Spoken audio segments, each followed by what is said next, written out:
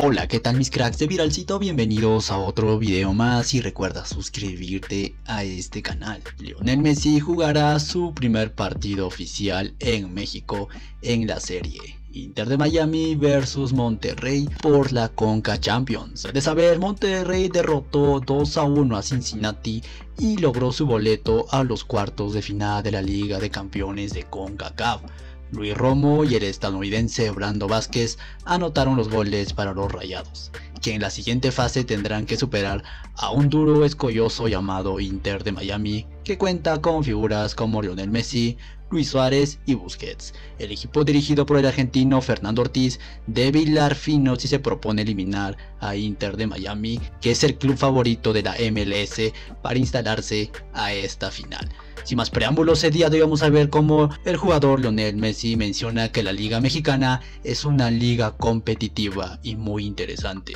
Sin más preámbulos, escuchemos al mejor del mundo y déjame saber tus impresiones en la caja de comentarios. Bueno, de que empezó esta competición, eh, nosotros sabíamos que era eh, un comienzo de cero porque había llegado un, entrenador nuevo al equipo, porque vinieron, eh, como yo, otro nuevo jugador al grupo, al cual nos adaptamos desde el primer momento muy bien, gracias a la ayuda de todos los los compañeros que, ya estaban y sabíamos que era una posibilidad para empezar a cambiar las cosas después de cómo venían los, los últimos resultados, de cómo veníamos eh, en, la liga y, que era, era una, linda oportunidad para, empezar a cambiar, a cambiar eso y empezar a, como dije antes, a, a fijarnos objetivos difíciles, pero al cual estábamos preparados para poder intentar eh, competir, sobre todo, después se puede dar o no, pero eh, competir y, y, nos tocó competir contra, contra equipos mexicanos que tienen un nivel muy, muy bueno. La Liga Mexicana es un, eh,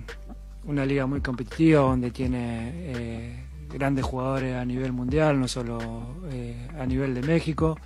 y que que los equipos de, Estados Unidos demostraron que tienen grandísimo nivel, que hoy, hoy en día le pueden competir de igual a igual a los equipos mexicanos y que, que bueno, se dieron las cosas así y hay que aprovecharlo para, seguir creciendo y no, no quedarlo con lo que hicimos, sino eh, apuntar a más alto todavía.